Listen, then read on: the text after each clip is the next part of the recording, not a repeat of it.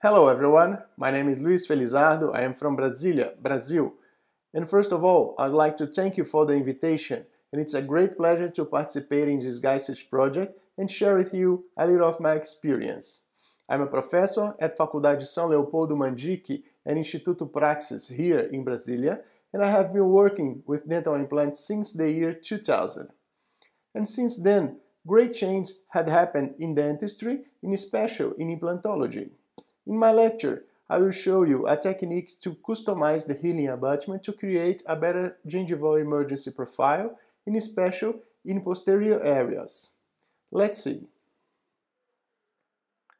In the late 90s and early 2000s, to complete the treatment with dental implants, many of us still follow the protocol established by Brånemark, making two or three surgeries after the tooth extraction, but today we know the features of macro design and micro topography of our implants and the treatment of their surfaces, we can put an implant immediately after the tooth extraction and put a healing abutment and do not close the gingiva.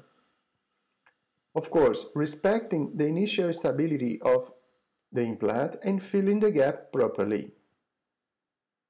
And what we have to understand is that the characteristics of periimplantar gingival sulcus are very similar to periodontal gingival sulcus, but with different dimensions and with different locations of collagen fibers. Here we can see different layers, the gingival margin, the junctional epithelium, and the connective tissue around the neck of our implants and the reproduction of the anatomical characteristics of natural crown favors function, protect the soft tissue around the implant, increasing its long-term stability and providing more comfort to our patient.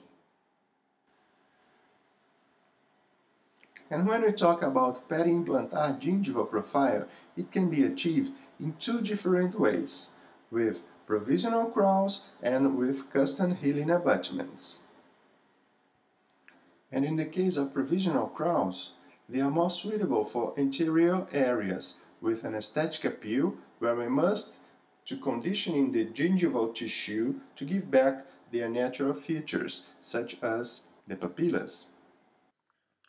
And we have a lot of papers talking about soft tissue conditioning, about contour management of implant restorations, of soft tissue remodeling techniques, about provisionalizing immediate implant and determining the emergency profile.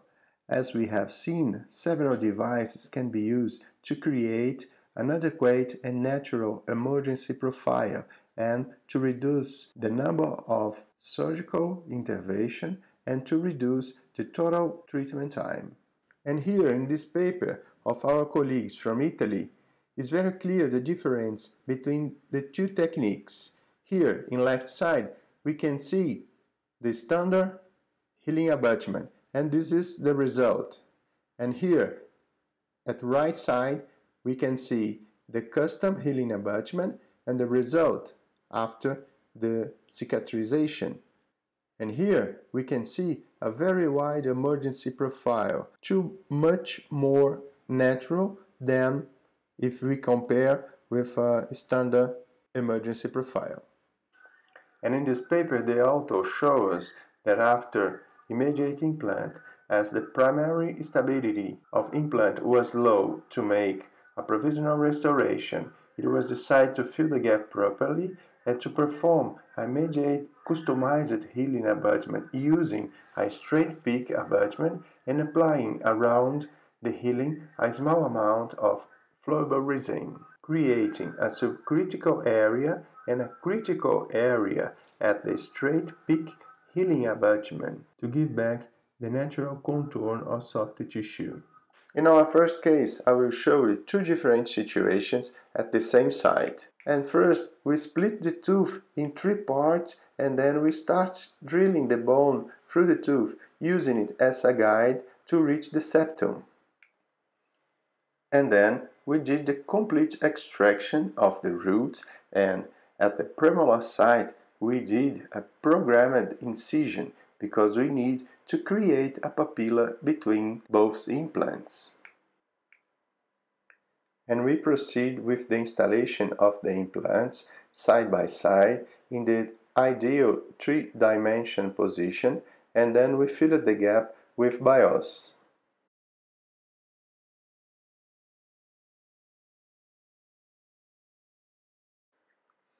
and the flowable resin is applied around the healing abutment in a small amount and light curd.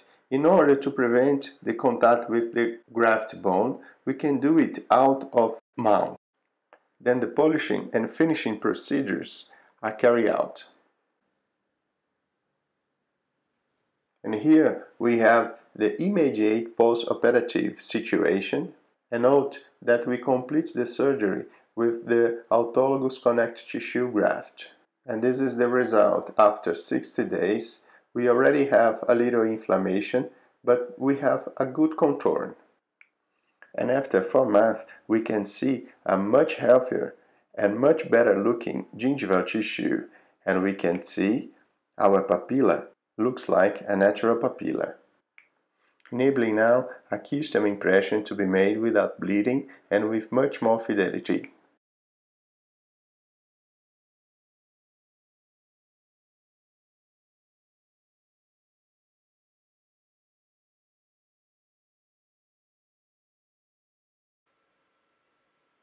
And here we have our pieces.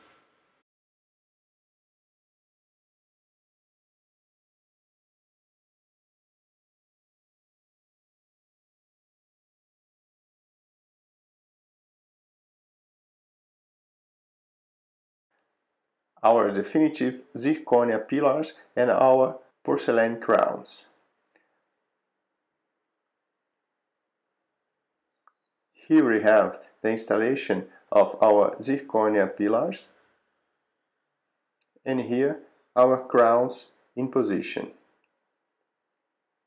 Here is the day one, we have a good result, but after 45 days the aspect looks much better and with much healthier tissue.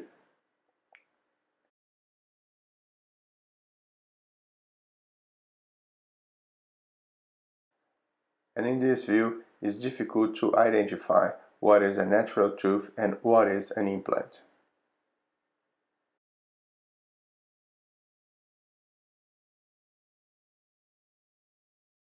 And in the second case, we see a tooth completely destroyed, but it was possible to install the implant immediately.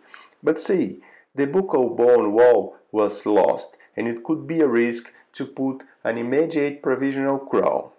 As a low primary stability for immediate provisional restoration was achieved, it was decided to perform an immediate standard healing abutment, and the gap was filled with Bio-Oss and an autologous connective tissue graft was made to prevent and compensate for changes in gingival contours that occur after the tooth extraction.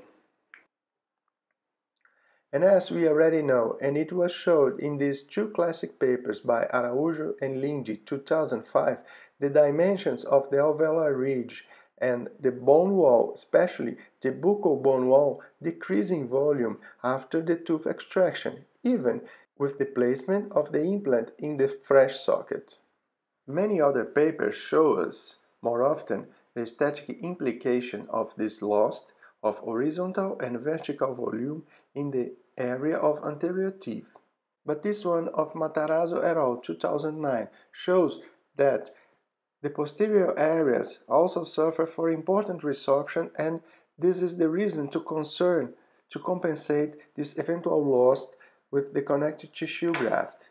And here we can see the vertical changes and the horizontal changes. And this is the aspect at the end of the surgery. But after 22 days and still with the gingival graft stabilization suture, we can see an excellent healing. At this moment, we can customize the abutment to create a more suitable gingival profile for this molar. And here we have a much larger and broader contour, similar to contour of the natural molar. And so, we finish the gingival con conditioning and leave it ready for prosthetic treatment.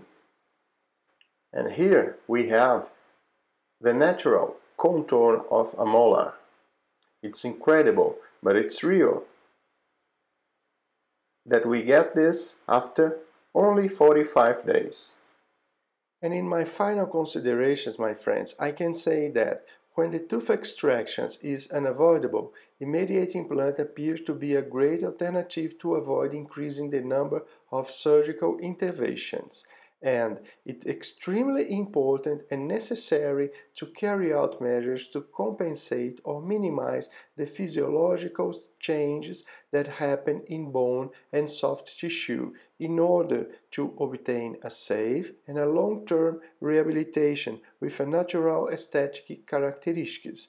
And the use of the custom healing abutments techniques aims to present an alternative treatment to avoid a second surgical stage to expose the implant and mainly to maintain and recreate the natural soft tissue contour. And finishing my presentation, my friends, like the great physician Stephen Hawking said, the intelligence is the ability to adapt to change.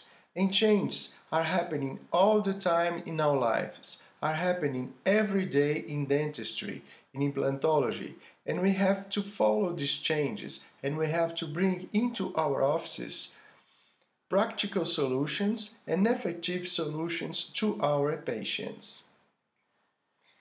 And my special thanks to all my mentors since the beginning of my career in implantology, because alone we go faster, but together we go further.